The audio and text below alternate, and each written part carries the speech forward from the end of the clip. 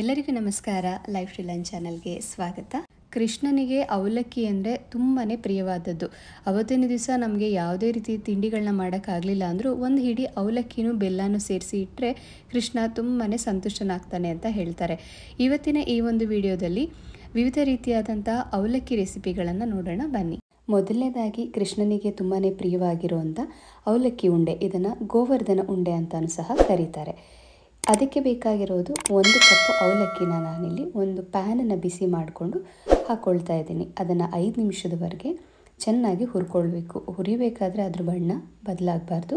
ಆದರೆ ಕಂಪ್ಲೀಟಾಗಿ ಅದು ಕ್ರಿಸ್ಪ್ ಆಗಿರಬೇಕು. ಒಳ್ಳೆ ಕ್ವಾಲಿಟಿ ಅವಲಕ್ಕಿನ ನಾವು ತಗೊಳ್ಳೋದ್ರಿಂದ ಅದು ತುಂಬಾ ಚೆನ್ನಾಗಿ ಗರಿಗರಿಯಾಗಿ ಆಗುತ್ತೆ.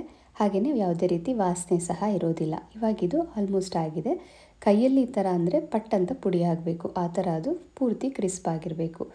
ಇವಾಗ ಅದೇ ಪ್ಯಾನ್ಗೆ ನಾನು ಕಾಲು ಕಪ್ನಷ್ಟು ಹಸಿ ತೆಂಗಿನಕಾಯಿನ ಹಾಕ್ಕೊಳ್ತಾ ಇದ್ದೀನಿ. ಒಣ ಕೊಬ್ಬರಿನಲ್ಲೂ ಮಾಡ್ಬೋದು, ಆದರೆ ಹಸಿ ತೆಂಗಿನಕಾಯಿ ಮಾಡಿದಾಗ ರುಚಿನೇ ತುಂಬ ಚೆನ್ನಾಗಿರುತ್ತೆ. ಲೋ ಹೀಟಲ್ಲಿ ಎರಡು ನಿಮಿಷದವರೆಗೆ ಕಂಪ್ಲೀಟಾಗಿ ಅದು ಡ್ರೈ ಆಗಬೇಕು ಹೀಗೆ. ಅಲ್ಲಿವರೆಗೆ ನಾವು ಇದನ್ನು ರೋಸ್ಟ್ ಮಾಡ್ಕೊಳ್ಬೇಕಾಗತ್ತೆ. ಇವಾಗಿದು ಸ್ವಲ್ಪನೂ ನೀರಂಶ ಇಲ್ಲ, ಡ್ರೈ ಆಗಿದೆ. ಪೂರ್ತಿಯಾಗಿದ್ದು ಕೂಲ್ ಆಗಲಿ. ಮೊದಲು ಒಂದು ಮಿಕ್ಸರ್ ಜಾರ್ಗೆ ಹುರಿದಂಥ ಅಷ್ಟು ಅವಲಕ್ಕಿನ ಹಾಕ್ಕೊಂಡು ಸೆಮಿ ಫೈನ್ ಪೌಡರ್ ಥರ ಮಾಡ್ಕೊಳ್ಬೇಕು. ಅದು ತುಂಬ ರವೆ ರವೆ ಥರ ಇರಬಾರ್ದು. ಚಿರೋಟಿ ರವೆ ಥರ ಅಥವಾ ಚಿರೋಟಿ ರವೆಗಿಂತ ಇನ್ನೂ ಸ್ವಲ್ಪ ಫೈನ್ ಪೌಡರ್ ಥರ ಇದ್ರೂ ನಡೆಯುತ್ತೆ. ಈ ಥರ ಫೈನ್ ಪೌಡರ್ ಥರ ಮಾಡ್ಕೊಳ್ಬೇಕು. ತುಂಬ ರವೆ ಥರ ಇದ್ದರೆ ಉಂಡೆ ಕಟ್ಟೋದಕ್ಕೆ ಬರಲ್ಲ ನಮಗೆ. ಇವಾಗ ಇದನ್ನು ಮಿಕ್ಸಿಂಗ್ ಬೌಲ್ಗೆ ಹಾಕ್ಕೊಂಡು ಅದೇ ಮಿಕ್ಸರ್ ಜಾರಿಗೆ ನಾನು ಹುರಿದಂಥ ತೆಂಗಿನಕಾಯಿ ಜೊತೆಗಿಲ್ಲಿ ಕಾಲು ಕಪ್ನಷ್ಟು ಬೆಲ್ಲ ಸೇರಿಸ್ಕೊಳ್ತಾ ಇದ್ದೀನಿ. ನಿಮಗೆ ಬೆಲ್ಲ ಸ್ವೀಟ್ ಜಾಸ್ತಿ ಬೇಕಂದರೆ ಇನ್ನು ಸೇರಿಸ್ಕೊಳ್ಬೋದು. ಅದನ್ನು ಚೆನ್ನಾಗಿ ಪುಡಿ ಮಾಡಿಕೊಂಡು ಅವಲಕ್ಕಿ ಮಿಶ್ರಣ ಜೊತೆ ಸೇರಿಸ್ಕೊಳ್ಬೇಕು. ಸ್ವಲ್ಪ ಏಲಕ್ಕಿ ಒಂದು ಸಣ್ಣ ಪ್ಯಾನ್ಗೆ ಎರಡು ಟೀ ಸ್ಪೂನಷ್ಟು ತುಪ್ಪನ ಹಾಕಿ ಕಾಯಿಸ್ಕೊಳ್ಬೇಕು. ಅದು ಕಾದಾದಮೇಲೆ ತುಂಬಾ ಸಣ್ಣ ಸಣ್ಣಕ್ಕೆ ಹಚ್ಚಿರೋಂಥ ಗೋಡಂಬಿ ಚೂರ್ಣ ಹಾಕ್ಕೊಂಡು ನಾನಿಲ್ಲಿ ಹೊಂಬಣ್ಣ ಬರೋವರೆಗೆ ರೋಸ್ಟ್ ಮಾಡ್ಕೊಂಡಿದ್ದೀನಿ. ಗೋಡಂಬಿನ ಸೇರಿಸ್ಕೊಳ್ಳೋದಕ್ಕೆ ಮುಂಚೆ ಅವಲಕ್ಕಿ ಉಂಡೆ ಮಿಶ್ರಣ ಇದೆಯಲ್ಲ, ಅದನ್ನು ಒಂದು ಸ್ಪೂನಿಂದ ಚೆನ್ನಾಗಿ ಮಿಕ್ಸ್ ಮಾಡಿಕೊಳ್ಬೇಕು. ತುಂಬಾ ಕಡಿಮೆ ಟೈಮಲ್ಲಿ ಮಾಡ್ಬೋದಾದಂಥ ಒಂದು ಸ್ವೀಟ್ ಇದು. ತುಂಬಾ ರುಚಿಯಾಗೂ ಇರುತ್ತೆ. ಇವಾಗ ನಾನು ಇದಕ್ಕೆ ಫಸ್ಟು ಗೋಡಂಬಿನ ಸೇರಿಸ್ಕೊಳ್ತಾ ಇದ್ದೀನಿ.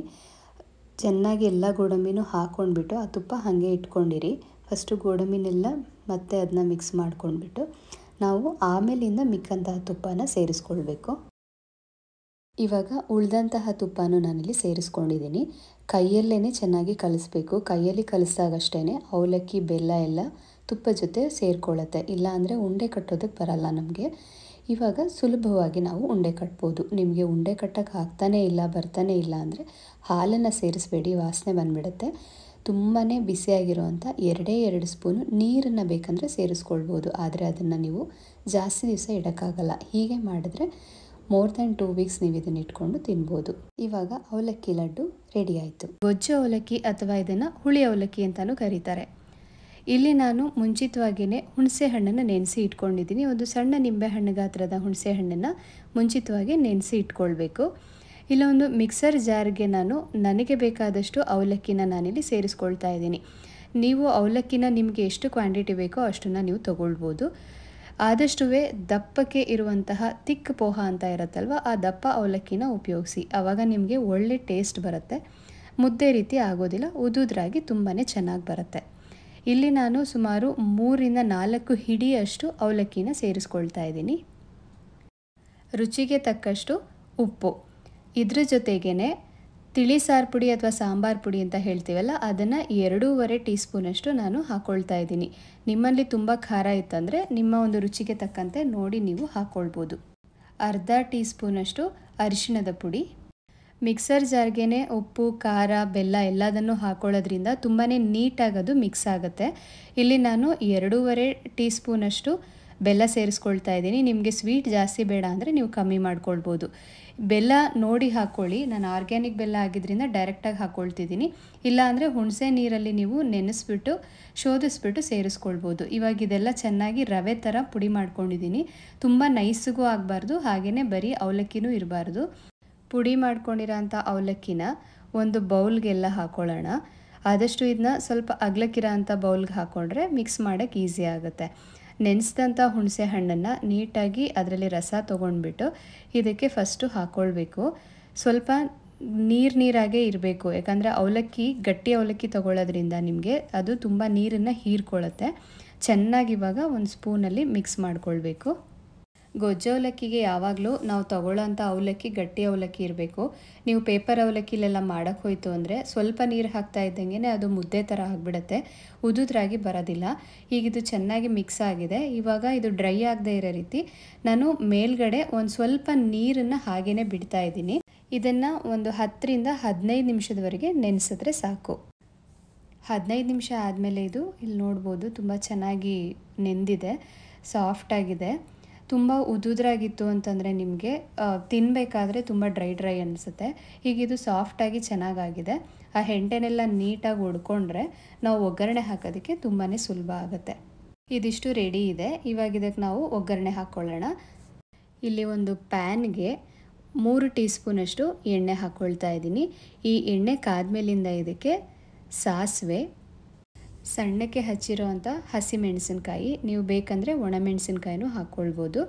ಇಲ್ಲಿ ಮೊದಲು ನಾನು ಕಡಲೆಕಾಯಿ ಬೀಜನ ಹುರ್ಕೊಳ್ತಾ ಇದ್ದೀನಿ. ಕಡಲೆಬೇಳೆ ಮತ್ತು ಉದ್ದಿನಬೇಳೆ ಹಾಕಿದ್ರೆ ಅದು ಆಗೋಗುತ್ತೆ ಕಡಲೆಕಾಯಿ ಬೀಜ ಇನ್ನೂ ಆಗೇ ಇರಲ್ಲ. ಸೊ ಕಡಲೆಕಾಯಿ ಬೀಜ ಅರ್ಧದಷ್ಟು ಆದಮೇಲಿಂದ ಕಡಲೆಬೇಳೆ ಮತ್ತು ಉದ್ದಿನಬೇಳೆನ ಇಲ್ಲಿ ಒಗ್ಗರಣೆಗೆ ಸೇರಿಸ್ಕೊಂಡಿದ್ದೀನಿ. ಒಂದು ಕಾಲು ಟೀ ಸ್ಪೂನಷ್ಟು ಇಂಗು. ಇಂಗನ್ನು ನೀವು ಅವಲಕ್ಕಿ ಪುಡಿ ಮಾಡಬೇಕಾದ್ರೂ ಸಹ ಹಾಕ್ಕೊಳ್ಬೋದು. ಇವಾಗ ಒಗ್ಗರಣೆ ಎಲ್ಲ ಆಲ್ಮೋಸ್ಟ್ ರೆಡಿ ಇದೆ. ಇವಾಗ ಇದೇ ಒಗ್ಗರಣೆಗೆ ನಾವು ರೆಡಿ ಮಾಡ್ಕೊಂಡಿರೋಂಥ ಅವಲಕ್ಕಿ ಮಿಶ್ರಣನ ಸೇರಿಸ್ಕೊಳ್ಬೇಕು. ಸ್ವಲ್ಪ ಸ್ವಲ್ಪನೇ ಹಾಕ್ಕೊಂಡ್ಬಿಟ್ಟು ಮಿಕ್ಸ್ ಮಾಡಿಕೊಂಡ್ರೆ ಈಸಿ ಆಗುತ್ತೆ. ಈಗ ಎಲ್ಲದನ್ನು ಹಾಕ್ಕೊಂಡಾಗಿದೆ. ಒಗ್ಗರಣೆ ಜೊತೆಗೆ ಅವಲಕ್ಕಿನ ಚೆನ್ನಾಗಿ ಮಿಕ್ಸ್ ಮಾಡ್ಕೋಬೇಕು. ಆದಷ್ಟು ಹೀಟನ್ನು ಲೋ ಮೀಡಿಯಮಲ್ಲೇ ಇಟ್ಕೊಳ್ಬೇಕು. ಒಂದು ಸ್ವಲ್ಪ ಕರ್ಬೇನ್ ಸೊಪ್ಪು ಹಾಕ್ಕೊಳ್ಳೋಣ ಕರ್ಬೇನ್ ಸೊಪ್ಪನ್ನು ಹಾಕಿದ್ಮೇಲಿಂದ ಚೆನ್ನಾಗಿ ಒಂದು ಸತಿ ಮಿಕ್ಸ್ ಮಾಡಿಬಿಟ್ಟು ಒಂದು ಎರಡರಿಂದ ಮೂರು ನಿಮಿಷದವರೆಗೆ ಲೋ ಹೀಟಲ್ಲಿ ಮುಚ್ಚಿಬಿಟ್ಟು ಅದು ಚ, ಸ್ವಲ್ಪ ಬಿಸಿ ಆಗೋದಕ್ಕೆ ಬಿಡಬೇಕು. ಒಂದು ಮೂರ್ನಾಲ್ಕು ನಿಮಿಷ ಆದಮೇಲಿಂದ ಒಳ್ಳೆ ಘಮ ಬರ್ತಾ ಇದೆ. ಇದಕ್ಕೆ ನಾನು ಹಸಿ ತೆಂಗಿನಕಾಯಿ ತುರಿನ ಸೇರಿಸ್ಕೊಳ್ತಾ ಇದ್ದೀನಿ. ಹಾಗೆಯೇ ಸಣ್ಣಕ್ಕೆ ಹಚ್ಚಿರೋವಂಥ ಕೊತ್ತಂಬರಿ ಸೊಪ್ಪು. ಎಲ್ಲದನ್ನು ಸೇರಿಸಿ ಒಂದು ಸತಿ ಮಿಕ್ಸ್ ಮಾಡ್ಕೊಳ್ಬೇಕು. ಇದನ್ನು ಜನ್ಮಾಷ್ಟಮಿಗೆ ಅಷ್ಟೇ ಅಲ್ಲದೆ ನೀವು ಬೆಳಗ್ಗೆ ಹೊತ್ತು ತಿಂಡಿಗೆ ಮಾಡ್ಬೋದು. ಎಲ್ಲದನ್ನು ಮಾಡಿಬಿಟ್ಟು ರಾತ್ರಿನೇ ಕಲಸಿಟ್ಬಿಟ್ಟು ಬೆಳಗ್ಗೆ ಒಗ್ಗರಣೆ ಹಾಕಿದ್ರಂತೂ ತುಂಬಾ ಬೇಗ ಆಗುತ್ತೆ. ಇವಾಗ ಬಿಸಿ ಬಿಸಿಯಾಗಿರುವಂತಹ ಗೊಜ್ಜು ಅವಲಕ್ಕಿ ರೆಡಿಯಾಗಿದೆ. ಹುಳಿ ಅವಲಕ್ಕಿ ಆದಮೇಲಿಂದ ಎರಡನೇ ರೆಸಿಪಿ ಖಾರ ಅವಲಕ್ಕಿ. ಖಾರ ಅವಲಕ್ಕಿಗೆ ತೆಳು ಅವಲಕ್ಕಿ ಅಥವಾ ಪೇಪರ್ ಅವಲಕ್ಕಿ ಅಂತ ಹೇಳ್ತೀವಲ್ಲ, ಅದನ್ನು ತೊಗೊಂಡಿದ್ದೀನಿ. ಮೊದಲು ಈ ಥರ ಅದನ್ನು ಧೂಳೆಲ್ಲ ಕ್ಲೀನ್ ಮಾಡ್ಕೊಳ್ಬೇಕು. ನಿಮ್ಗೆ ಎಷ್ಟು ಕ್ವಾಂಟಿಟಿ ಬೇಕೋ ಅಷ್ಟು ಕ್ವಾಂಟಿಟಿ ತೊಗೊಳ್ಳಿ. ಹಾಗೆಯೇ ತೆಳುವಾಗಿ ಇಲ್ಲಿ ಕೊಬ್ಬರಿನ ನಾನು ಈ ಥರ ಉದ್ದುದ್ದಕ್ಕೆ ಕಟ್ ಮಾಡಿ ತೊಗೊಳ್ತಾ ಇದ್ದೀನಿ.